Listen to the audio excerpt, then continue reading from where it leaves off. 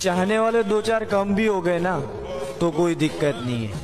पर जलने वाले ना वो कम नहीं होने चाहिए।